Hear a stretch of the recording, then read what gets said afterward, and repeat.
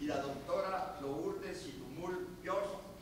secretaria de la Paz de la Presidencia de la República, CEPAS, Guatemala de la Asunción, 11 de abril 2019. Felicitaciones.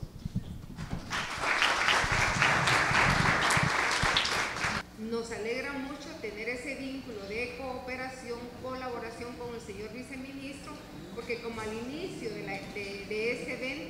les comentamos que estamos trabajando en el marco de CONADUR, la creación nacional de la Comisión de Paz y Prevención de Violencia. Entonces estamos cabildeando fuertemente en el seno de los preconadures y conadures y esperamos tener un punto resolutivo que al final amarre la contribución que se haga desde una Comisión eh, Nacional de la Paz y Prevención, porque ustedes que llegan al territorio, que llegan a las comunidades, que llegan a los municipios, que llegan a los, departamentos, sí sienten, viven día a día esa situación que obstaculiza los procesos de paz firme y. Así que muchísimas gracias, abrazo cada una de sus energías, los felicito por haber culminado estas cinco sesiones importantes. Quiero pedirles